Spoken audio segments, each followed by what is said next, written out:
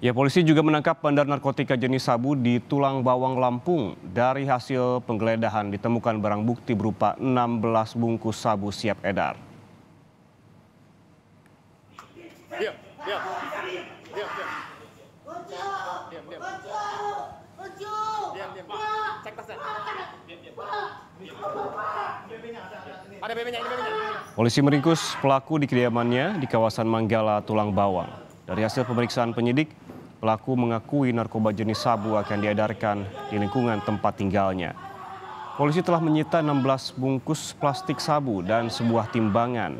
Tersangka adalah seorang residivis yang telah menjadi target polisian Tulang Bawang Lampung.